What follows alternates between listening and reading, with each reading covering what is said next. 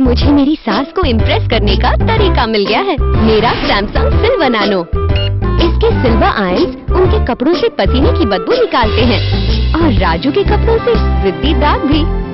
ऐसी सफ़ाई की मम्मी जी सोचती हैं कि कपड़े गर्म पानी में धोती हूँ। सोचने दो।